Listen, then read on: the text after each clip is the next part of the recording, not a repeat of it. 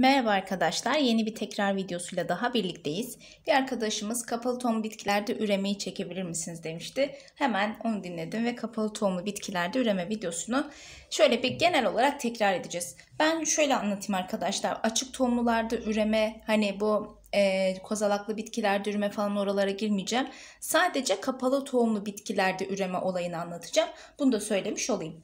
Çünkü e, soru çıkma ihtimalinin olduğu bir yer. O yüzden de ben e, burayı anlatmayı daha çok tercih ettim. Şimdi gelelim bakalım. İlk önce olayların gerçekleşme sırasını söyleyeyim. Bu sıraya göre anlatacağım arkadaşlar. İlk olarak gamet oluşumu gerçekleşir. Daha sonra bunlar tozlaşırlar, gametler. Sonra döllenme olayı, tohum oluşumu ve en sonunda meyve oluşumu olayı gerçekleşiyor. Şimdi bu e, gamet oluşumuna geçmeden önce bir çiçekli bitkinin çiçeğinin yapısına bakalım. Biliyorsunuz kapalı tohumlu bitkilerde üreme organı çiçektir. Arkadaşlar İlk önce dişi organa bakalım isterseniz. Şimdi bakın dişi organa baktığımızda dişi organ şu sarıyla boyadığım kısımdır arkadaşlar dişi organ. Baş kısmına bakın şu kısma buraya polen gelir konar yani erkek üreme hücresi gelir konar ve biz buraya stigma diyoruz. Stigma. Boyun bölgesine arkadaşlar bakın şuraya şuraya ee, ne diyoruz? Buraya da stilus diyoruz arkadaşlar. Stilus. Daha sonra ovaryum yani yumurtanın üretildiği böyle biraz daha bir turuncu renkli gibi boyadığım kısım ovaryumdur. Yumurtanın üretildiği kısımdır. Bir de yumurtanın üretildiği kısma doğru yani ovaryuma doğru tohum taslağı bulunur. Bu tohum taslağı daha sonra zaten tohumun e, gelişeceği yerdir arkadaşlar. Şimdi e, biz üreme organlarında işte dişi üreme organının tamamını hepsinin tamamına ne diyoruz? Karpel diyoruz arkadaşlar. Gelelim erkek organa. Erkek organ ise anter ve filament dediğimiz yani başçık ve sapçık dediğimiz iki kısımdan oluşur. Erkek organın tamamına ise stamen diyoruz. Bir bitkide bir çiçekte dişi organ ve erkek organ birlikte bulunuyorsa biz buna erselik çiçek diyoruz. Diğer bir ismiyle hermafrodit çiçek diyoruz. Eğer arkadaşlar farklı yerlerde bulunuyorsa bakın bitkiye göre bitkiye göre diyelim ki bir bitkide sadece erkek organ taşıyan çiçekler var. Veya sadece dişi organ taşıyan çiçekler var. Bu bitkilere biz dioik bitki yani iki evcikli bitki diyoruz. Bunu nasıl oturtabilirsiniz kafanızda? Şöyle oturtun. Şimdi bakın erkeğin evi başka, dişinin evi başka. İki ev var değil mi? Dioik bitki.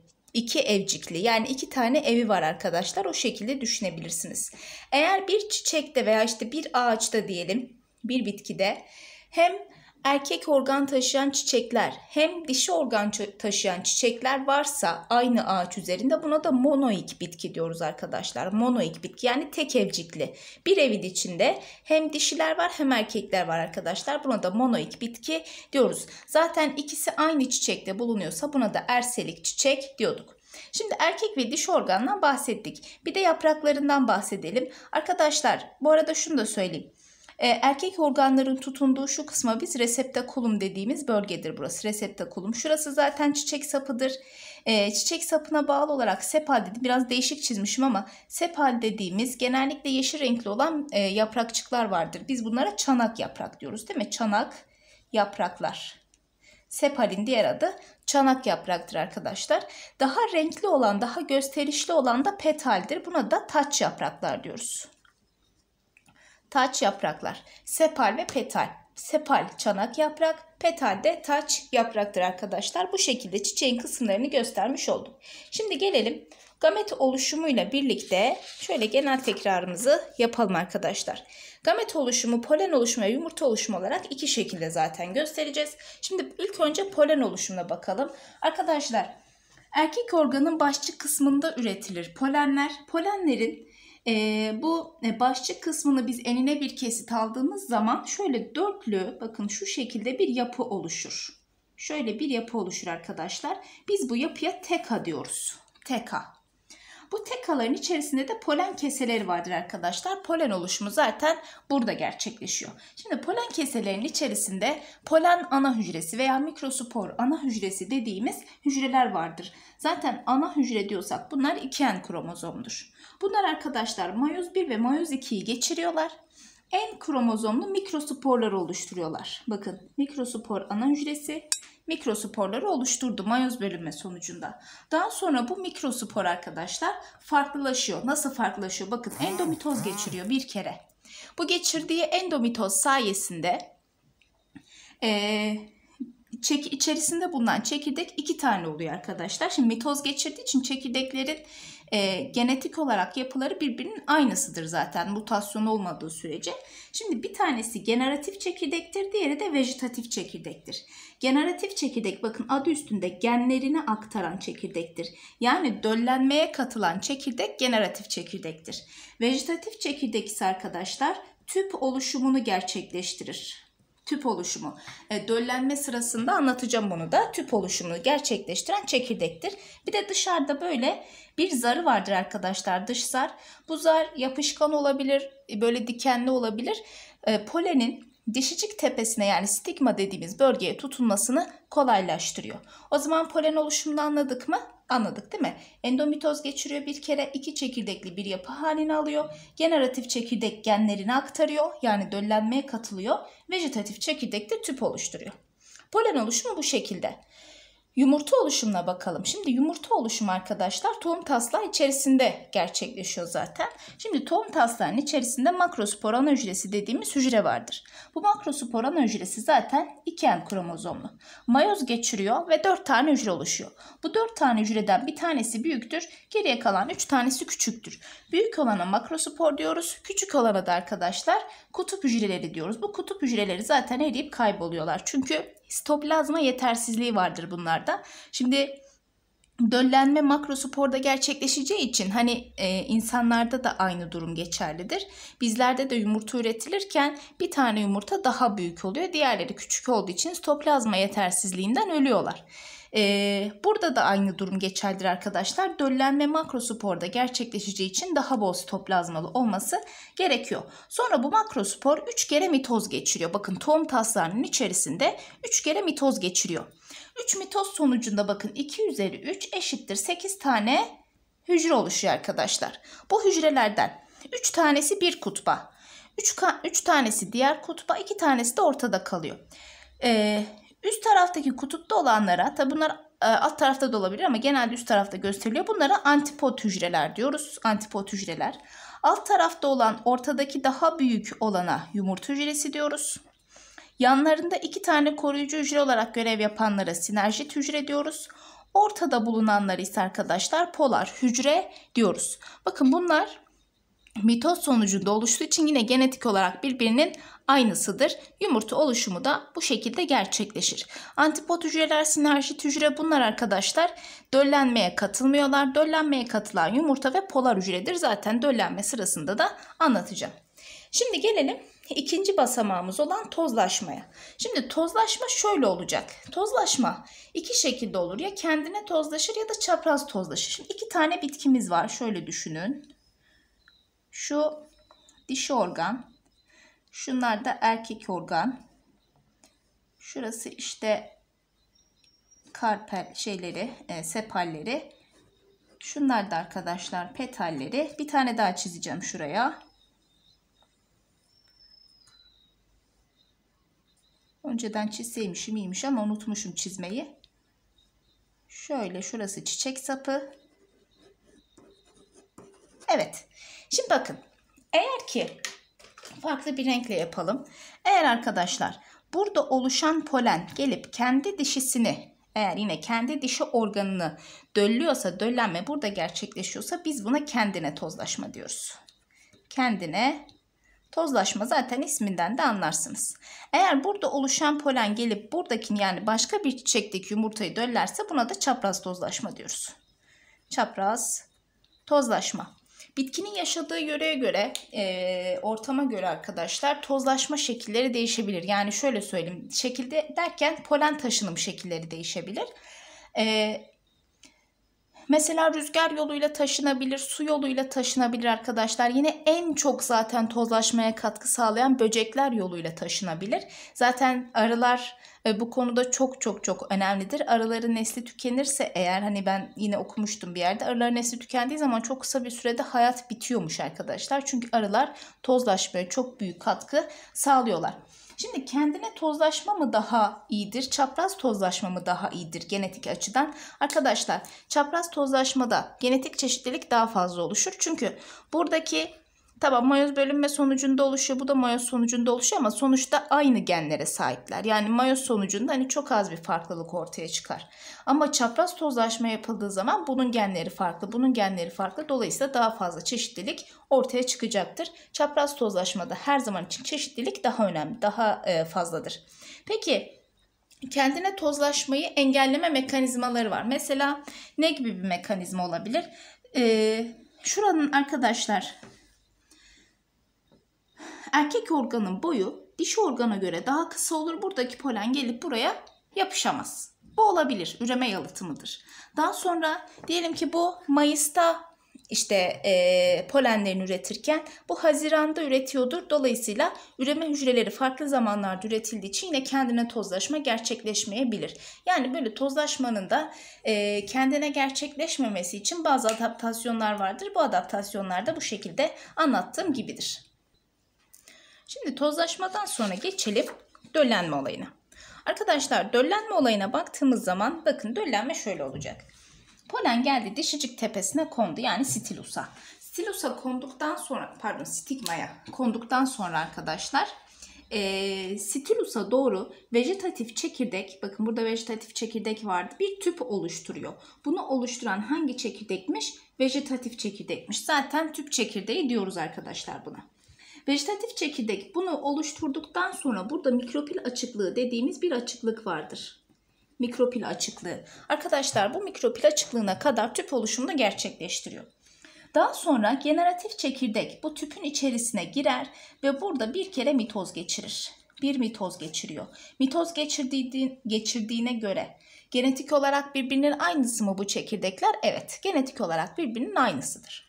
Daha sonra e, mikropil açıklığından içeriye doğru girerek arkadaşlar çekirdeklerden bir tanesi yumurtayı döller, bir tanesi de polar çekirdekleri döller. Dolayısıyla burada iki döllenme olayı gerçekleşiyor. O yüzden biz buna çifte döllenme olayı diyoruz. Çifte döllenme. Şimdi birinci döllenmede şuraya yazdım ama neyse yumurta yumurta artı sperm biz bunu artık sperm çekirdekleri diyoruz bunlara sperm çekirdekleri. Bunlar arkadaşlar dölleniyorlar. Ve neyi oluşturuyorlar? Zigot oluşturuyorlar. Zigot. Bu zigot da büyüyüp gelişince ne oluşturuyor? Embriyoyu oluşturuyor arkadaşlar. Evet yumurta ve sperm birleşiyor zigotu oluşturuyor. Yani burada birinci döllenmemiz oldu. Daha sonra zigot da embriyoya dönüşüyor. İkinci bir döllenme ise dediğim gibi sperm çekirdeklerinden bir tanesi de geliyor. Burada polar hücreleri döllüyor arkadaşlar. Şöyle polar hücreler artı sperm diyorum. Bunlar da birleşiyorlar. Triploid bir çekirdek oluşturuyorlar. Triploid hücre. Daha sonra bu triploid hücrede büyüyüp gelişerek ne oluşturuyor arkadaşlar? Endosperm dediğimiz besi dokuyu oluşturuyor. Besi dokuyu oluşturuyor. Üçen kromozomlu olan besi doku oluşmuş oluyor. Şimdi neden üçen? Çünkü en buradan geldi. Polar çekirdeklerde iki taneydi. İken de buradan gelir arkadaşlar. Birleştiği zaman üçen kromozomlu besi doku oluşur. Zigot kaç kromozomlu? İken kromozomdur arkadaşlar. Bu şekilde döllenme olayı da gerçekleşir. Döllenme olayında şurası şu kısım çok önemlidir. Çifte döllenme kısmı çok önemlidir arkadaşlar.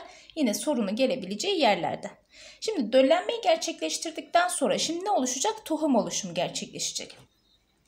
Tohum oluşumu arkadaşlar. Şimdi tohum taslağı vardı ya şu tohum taslağı döllenmeden sonra tohuma dönüşüyor.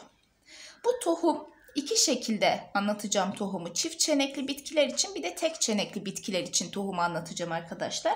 Bizim bu meyvelerde yediğimiz çekirdekler var ya o çekirdeklerin her biri tohumdur.